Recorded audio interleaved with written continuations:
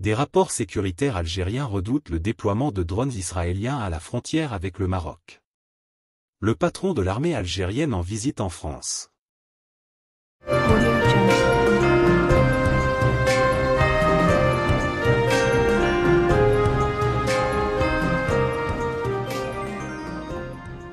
Des rapports sécuritaires algériens redoutent le déploiement de drones israéliens à la frontière avec le Maroc.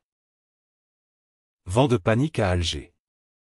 Lors de la tenue de la dernière réunion du Haut Conseil de sécurité le 18 janvier dernier à Alger, le président algérien Abdelmajid Tebboune a reçu tout un exposé sur des renseignements recoupés par l'ensemble des appareils sécuritaires de l'armée algérienne concernant la menace élevée d'un déploiement massif des drones israéliens au niveau de la frontière avec le Maroc.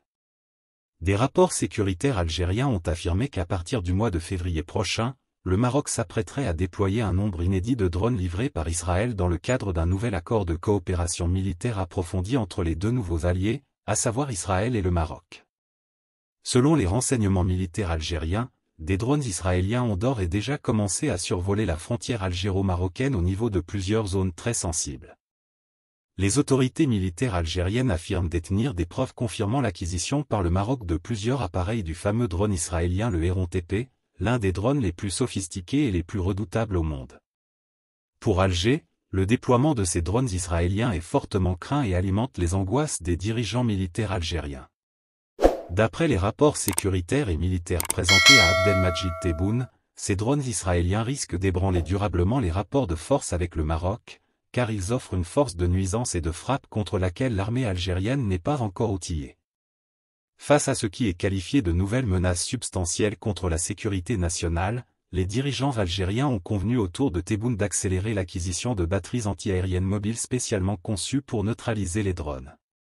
Et des contacts devront être initiés prochainement avec des partenaires occidentaux et chinois pour lancer les premières négociations.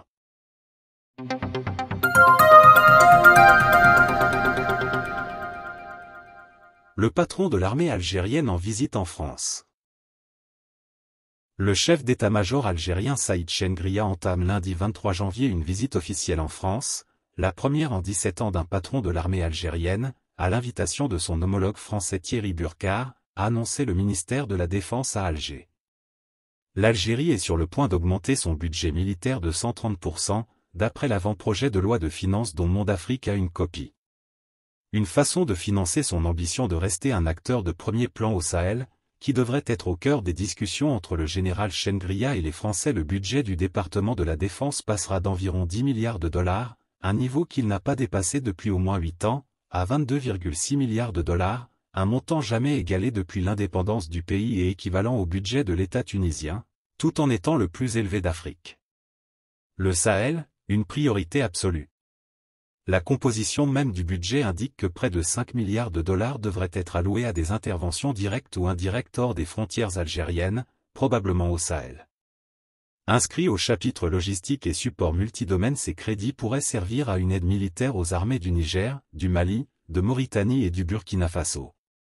Le Burkina a désormais toute sa place dans les plans qu'Alger concocte pour le Sahel. Autre initiative, les groupes armés du nord du Mali signataires des accords d'Alger de 2015 pourraient bénéficier d'un support matériel de l'Algérie, alors qu'ils sont directement confrontés aux groupes djihadistes notamment dans la zone dite des trois frontières ou encore au nord du Mali. La sinécure du fils Changria. Le chef d'état-major a une autre raison de suivre de près la situation française. C'est que son fils vit à Paris, après avoir travaillé à l'ambassade d'Algérie. D'après les sources de Monde Afrique, le rejeton mènerait joyeuse vie ce qui n'est pas compatible avec l'image de l'héritier du patron de l'armée algérienne. D'où la nécessité pour le général Saïd Chengria de veiller de près à la situation fort gênante créée par le mode de vie de son propre fils sur les bords de la Seine.